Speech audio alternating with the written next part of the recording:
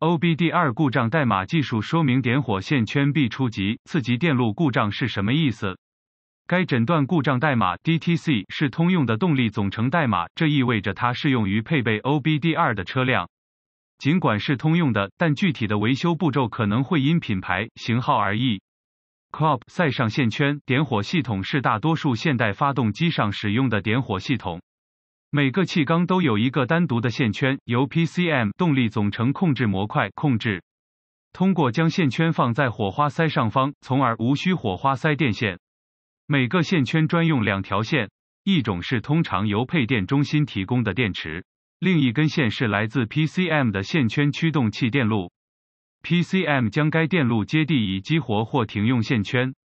PCM 对线圈驱动器电路进行故障监视，如果在二号线圈的驱动器电路中检测到开路或短路，则可以设置 P 零三五二。另外，根据车辆的不同，PCM 也可能会关闭通往气缸的喷油器。症状 P 零三五二 DTC 的症状可能包括 MIL 故障指示灯点亮、发动机失火或间歇性原因。原因 P 零三五二代码的潜在原因包括 COP 驱动器电路电压不足或接地短路，COP 驱动器电路断开、线圈连接松动或连接器所损坏、线圈故障，COP 动力总成控制模块故障。可能的解决方案：发动机当前是否失火？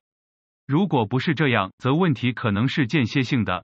尝试摆动测试 Number 二线圈处以及沿线数至 PCM 的布线。如果对接线进行操作会引起失火，请修复接线问题。检查线圈连接器的连接不良，确认线束没有布线错误或擦伤任何东西。必要时进行维修。如果发动机目前失火，请停止发动机并断开二号线圈的接线端子，然后启动发动机并检查是否有二号线圈的驱动信号。使用示波器可以使您观察到一种视觉模式，但是由于大多数人都无法使用示波器，因此有一种更简便的方法：使用交流赫兹刻度的电压表，查看是否有五到二十左右的 Hz 读数，表明驱动程序正在工作。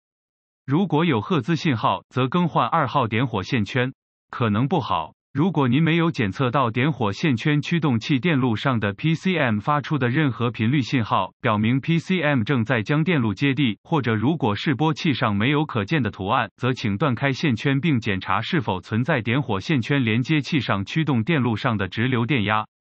如果那条线上有任何明显的电压，则某处电压短路。找到短路并修理。如果驱动电路上没有电压，则关闭点火开关。断开 PCM 连接器的连接，并检查 PCM 和线圈之间驱动器的导通性。如果没有连续性，请修理电路中的开路或接地短路。如果存在连续性，则检查接地与点火线圈连接器之间的电阻，应该有无限的抵抗力。如果没有，则修理线圈驱动器电路中的对地短路。注意，如果点火线圈驱动器信号线未断开或与电压或接地短路，并且线圈没有触发信号，则怀疑是 PCM 线圈驱动器有故障。还请记住，如果 PCM 驱动程序出现故障，则可能存在引起 PCM 故障的接线问题。最好在更换 PCM 之后进行上述检查，以确保不会发生重复故障。如果您发现发动机没有失火，线圈已正确触发，但 P0352 不断复位，则 PCM 线圈监视系统可能有故障。